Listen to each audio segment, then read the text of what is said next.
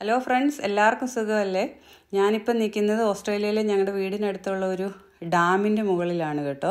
അപ്പോൾ ഇവിടെ rose river എന്ന് പറഞ്ഞൊരു പുഴയുണ്ട്. ആ പുഴയുടെ അവിടെ ഒരു ചെറിയ ഡാമുണ്ട് അപ്പോൾ വൈകുന്നേരം ഞങ്ങൾ അവധിയൊക്കെ ആയപ്പോൾ ഇവിടെ മീൻ പിടിക്കാൻ വന്നതാണ്.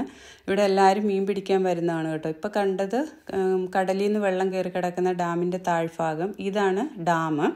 അപ്പോൾ ഇവിടെ മീൻ പിടിക്കാൻ വന്നാൽ നമുക്ക് ഡാമിൽ നിന്ന് വെള്ളം നിറഞ്ഞൊഴുകി താഴേക്ക് പോയിട്ട് വെള്ളം കയറി കിടക്കുന്ന കടൽ വെള്ളം കയറി കിടക്കുന്ന ഭാഗത്തു നിന്ന് നമുക്ക് പുഴമീൻ സിലോപ്പിയൊക്കെ പോലെയുള്ള പുഴമീനും കിട്ടും.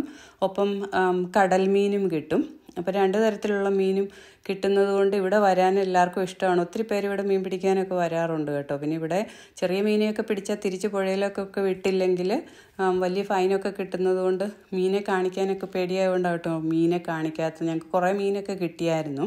അപ്പോൾ ശരിക്കും ഇന്ന് മീനെ കാണിക്കാനോ പറയാനോ അല്ല ഞാൻ വന്നത്. ഞങ്ങൾ ഈ കടൽ വെള്ളം കയറി കിടക്കുന്ന ഭാഗത്ത് മീൻ പിടിച്ചപ്പോഴത്തേനും ഒരു വിഷപ്പാമ്പിനെ കിട്ടി. അത് കടൽ പാമ്പായിരുന്നു ഇപ്പോൾ ഓസ്ട്രേലിയയിലെ പാമ്പുകളൊക്കെ ഭയങ്കര വിഷപ്പാമ്പുകളാണ്. അതുകൊണ്ട് ഭയങ്കര പേടിയാണ്. അക്കൂട്ടത്തിൽ കടൽ പാമ്പുകളാണെങ്കിൽ കുറച്ചുകൂടെ വിഷം കൂടുമല്ലോ ഞങ്ങളിങ്ങനെ മീനൊക്കെ പിടിച്ച് ഞാൻ ഈ പുഴയുടെ ഇവിടെ ഒക്കെ ഡാമിന്റെ ഭാഗത്തൊക്കെ വന്ന് ഇങ്ങനെ നിങ്ങളെ കാണിക്കാനായിട്ട് വീഡിയോ ഒക്കെ എടുത്തത് ആ പാലത്തിന്റെ അവിടെയാണ് ആദ്യം നിന്നത്. ഇപ്പോൾ പുഴയുടെ ഭാഗത്താണ് നിൽക്കുന്നത്.